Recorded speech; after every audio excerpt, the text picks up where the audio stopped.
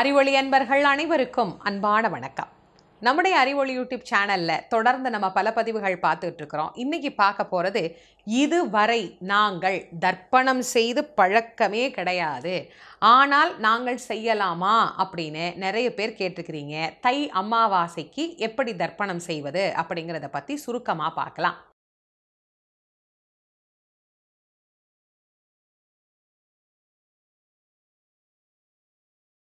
அதாவது ஒரு மனிதன் இறந்து போய்விட்டார் அப்படின்னா அவருக்கு செய்ய வேண்டிய கடமைகள் என்பது நிறைய இருக்குது பலரும் என்ன பண்ணுறாங்க அதை செய்கிறதே கிடையாது.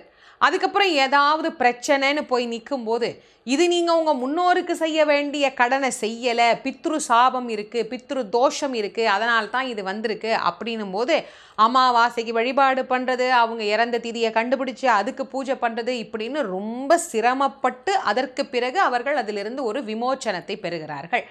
இப்போ நிறைய பேருக்கு இந்த விஷயங்கள் கொஞ்சம் கொஞ்சமாக தெரிய தெரிய அவங்களுக்குள்ளே ஒரு கேள்வி வருது. இது வரைக்கும் நாங்கள் அமாவாசைக்கு தர்ப்பணம் பண்ணதே கிடையாதே. இது வரைக்கும் நாங்கள் பித்ருக்களுக்கு வழிபாடுன்னு பண்ணதே கிடையாதே. எங்கள் வீட்டில் எங்கள் அப்பா அம்மா இறந்து போனாங்க மாமனார் மாமியார் இறந்து போனாங்க தாத்தா பாட்டி இறந்து போனாங்க. அந்த முப்பது நாள் காரியத்தோடு எல்லாத்தையும் முடிச்சிட்டோம். அதுக்கப்புறம் நாங்கள் அமாவாசையும் பண்ணலை திதியும் பண்ணலை வருஷாப்தியும் பண்ணலை எதுவுமே நாங்கள் பண்ணது கிடையாது. ஆனால் இப்போ உங்கள் பதிவெல்லாம் கேட்கும்போது தை அமாவாசைக்கு பண்ணணுங்கிறீங்க புரட்டாசி அமாவாசை பண்ணணுங்கிறீங்க ஆடி அமாவாசை பண்ணணுங்கிறீங்க நாங்கள் இப்போ புதுசாக இப்போ தை அமாவாசைக்கு செய்யலாமா அப்படின்னு நிறைய பேர் வந்து கேட்டிருக்கிறீங்க. பரவாயில்ல. இப்போதாவது செய்ய வேண்டும் அப்படிங்கிற எண்ணம் வந்திருக்கே. அதுவே ரொம்ப ரொம்ப விசேஷமானது. பொதுவாக எப்பயுமே ஒன்று தெரிஞ்சுக்கோங்க. ஒருவருடைய பிறந்த நாளை எவ்வாறு நாம் நினைவு வைத்து கொண்டு கொண்டாடுகிறோமோ அதுபோல நம்மோடு வாழ்ந்தவர்கள் நம்மை விட்டு மறைந்து சென்ற நாளை மறக்கவே கூடாது. அது எப்படிங்க நம்மளால் மறக்க முடியுது? அவர்கள் இருந்த நினைவு அவர்களோட நாம் பழகியது அவர்கள் நமக்காக எடுத்துக்கொண்ட அந்த நேரம் அது கூடவா நம்மளுக்கு ஞாபகம் இருக்காது. வருஷத்துக்கு ஒரே ஒரு நாள் எந்த திதியில் இறந்து போனாங்களோ அந்த திதி அன்னைக்கு அவங்களுக்கு செய்ய வேண்டிய ஒரே ஒரு கடமை நம்ம வாழ்நாள் முழுக்க செஞ்சிடணும். சரிம்மா அப்போ எங்களுக்கு தெரியாமல் போச்சுமா நாங்கள் திதியெல்லாம் குறித்து வைக்காமல் விட்டுட்டோம் தேதியே மறந்து போச்சுமா அப்படின்னா கவலையே படாதீங்க. அதுக்கு தான் இந்த அமாவாசைகள் அமைந்திருக்கிறது. அதிலும் குறிப்பாக தை அமாவாசை. இந்த தை அமாவாசை என்பது மறந்தது ஞாபகம் இருக்கிறது இல்லாதது யாருக்கு வேணாலும் நாம் விரதம் இருந்து வழிபாடு பண்ணலாம். என்ன செய்யணும்? காலையில் எழுந்து அப்பாவோ அம்மாவோ தாத்தாவோ பாட்டியோ கணவனோ மனைவியோ பிள்ளைகளோ யாராக வேணாலும் இருக்கலாம்.